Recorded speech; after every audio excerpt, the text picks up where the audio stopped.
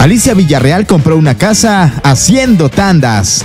Mi gente, quieren una casa y no saben cómo hacerle. La hermosa Alicia Villarreal compartió unos tips que no suenan tan descabellados para hacerse de una casa. Casi casi será el método de Alicia.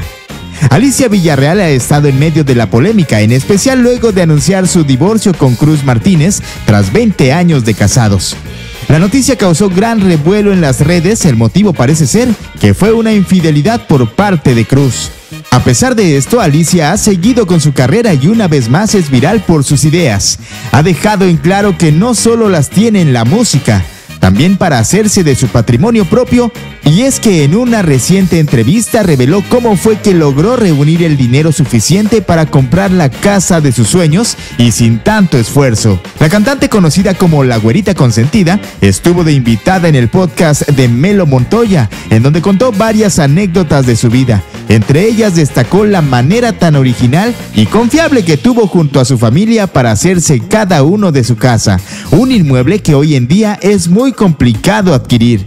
La intérprete de Te aprovechaste reveló que hizo un ahorro colectivo junto a su familia para que con el tiempo se fuera comprando la casa de cada uno de los participantes. Algo así como una tanda de casas, solo que el pago del número no era precisamente dinero, sino más bien la casa que cada uno deseaba adquirir. Una vez propusimos, ¿cómo ven si juntamos nuestros dineros y compramos una casa primero para uno y luego compramos otra casa, otra y así hasta que cada uno de los cinco integrantes tengamos una casa bonita y bien hecha? Fue la propuesta familiar que se hizo según lo narrado por Alicia. Según la tradición de la familia de Alicia Villarreal, se procura trabajar hasta ir comprando casas por cada uno de los integrantes.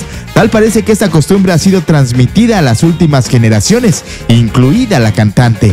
Sin duda demuestra que tiene una capacidad de ahorro y un sistema que parece funcionar. Y si tienes dudas sobre en qué consiste una tanda, es una forma de juntar una lanita es entre un grupo de personas que hacen aportaciones periódicamente y se sortea un número en especial para recibir este dinero. ¿Alguno de ustedes tienen un método de ahorro? ¿Usarías la forma de juntar dinero de Alicia Villarreal? Te leemos en los comentarios, no olvides seguir de cerca las redes de la mejor. Para más chismecitos, aquí nomás.